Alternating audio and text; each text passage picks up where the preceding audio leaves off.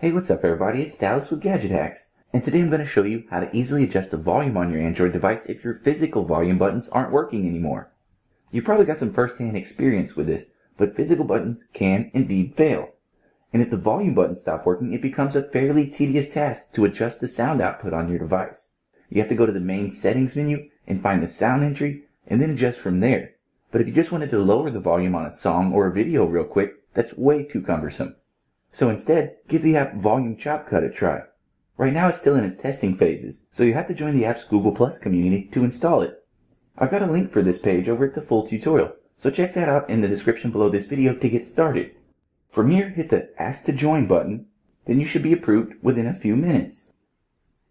When you've successfully joined the community, head to the beta testing opt-in page.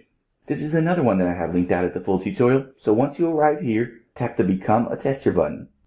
From here, use the link provided to head to the app's Play Store page.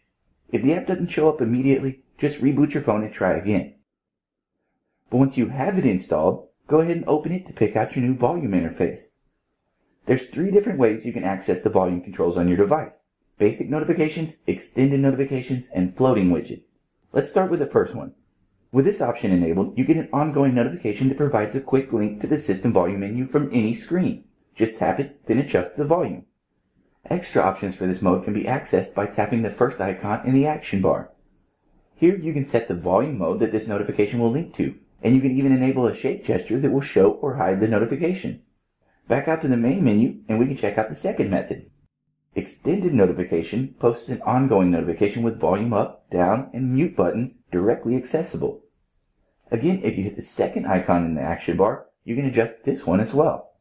Here you can set up a theme for this notification, even including a new lollipop version, which looks much better in my opinion. The third volume adjustment method you can use is floating widget. This feature has been a bit buggy for me so far, but if it works for you, it essentially puts a floating bubble on top of every screen that calls up the system volume menu when pressed. So no matter which of the three options you choose, it's certainly a lot easier to adjust your volume with broken buttons now. But for the full breakdown, be sure to check out my article at the link in the description below. And as always, we'd appreciate it if you would like and comment on this video and subscribe to our channel. So we'll see you again next time, folks, but until then, happy gadget hacking.